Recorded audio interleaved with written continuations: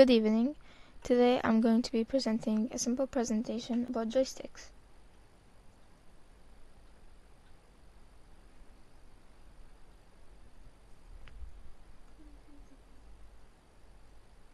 First, what is the definition of joysticks? Joysticks have similar functions to a mouse and a trackball. By gripping the stick, a pointer on the screen can be controlled Buttons are used to make selections. Often they have another button on the top of the stick that is used for gaming purposes, for example to fire a weapon. What are some uses of joysticks?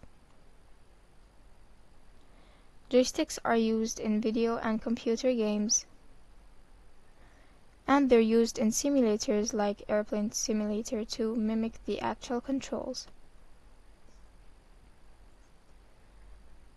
The advantages of joysticks are they are easier than a keyboard to navigate the screen, and control is more realistic than using a mouse.